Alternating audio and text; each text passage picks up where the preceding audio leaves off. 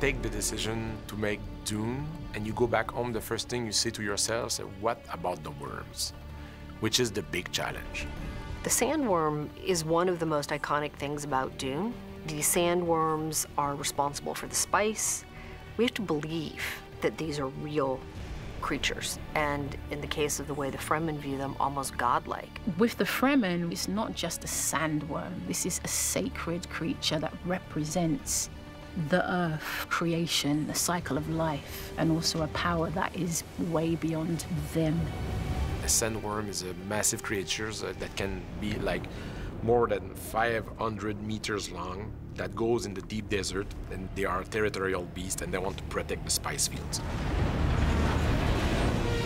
It's a phenomenal animal and there had been a lot of reproduction imagery that came through the years in books and art. It's a very famous beast. The largest and most dangerous organism on Arrakis is the sandworm, known to the Fremen as Shai Hulud. We tried to approach the worm with the same concerns that Frank Herbert wrote and created the worm, which is like uh, biology. How this creature has been transformed and how this creature adapted to this environment and how it feeds, how it hunts, how it moves, how it behaves. And so to create these giant sandworms and have them not look like some Hollywood CG machination, but to have them feel like real organic creatures that you believe could have this kind of presence was a huge task. It's here! It all came from that kind of feeling that the worm will need to look like a survivor through the ages and that uh, it will have that kind of prehistoric quality, that it will have that, those kind of scales and that kind of very rough skin that has been grinded by the sand through centuries, you know. Bless the Maker and his water. And also the idea that the worm will need to feed himself through sand krill, like microorganism in the sand, so it can filter the sand and get his food out of it like a whale. May his passage cleanse the world and keep the world for his people. The sandworm was unique in that we were concentrating on the mechanics of the movement. We studied real-world desert camouflage creatures to understand how they would interact with their own environments, and we tried to apply some of those lessons to how these sandworms might function. We had to work very closely with our visual effects vendors to understand how sand might propagate if a giant creature is pushing its way through folding sand dunes. Does sand collapse in the vacuum behind it, or does it maintain as a mound above it? And we had to spend months understanding how a worm of that size would move through a huge field of sand and find the balance between the artistic goals and what the real world mechanics might be.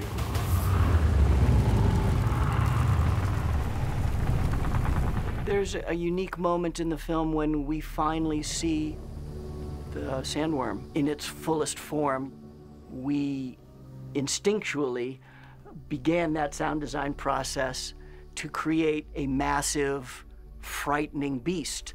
Denis made very clear to us early on that that was a moment of reverence for a beautiful being. And Theo and I very quickly had to disavow ourselves of that reflex of the Godzilla scream, for lack of a better term, you know. That's the moment where we decided if there's a silent contemplation between the two of them, then we have something very unusual. It's not a monster breaching out of the soil, it's a meeting with God.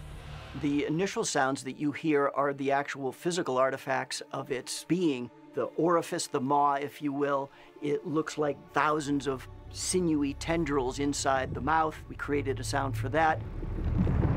What looks like a throat closing mechanism, and you hear the physicality of that. And it isn't till near the very end of the sequence where you actually hear what we would call the voice of the worm. But it's nothing like what you would expect. It's a moment of very simple communication. We also found that there was a connection between the sound that the worm makes with its throat, a kind of glunk glunk sound, the sound that the Fremen have been using to attract the worm. So we thought perhaps that suggests that the reason that worms are attracted to that sound is because it sounds like worm communication. It's a thumper. All creatures on the earth, including humans, are a byproduct of their physical environment where those sounds begin to fuse and become one.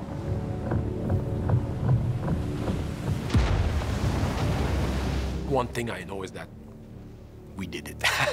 I think that Frank Herbert will appreciate that version of the worm that at the end of the day needs to be a very frightening, impressive creatures and at the same time an incarnation of God. So it needs to have that kind of uh, awe quality.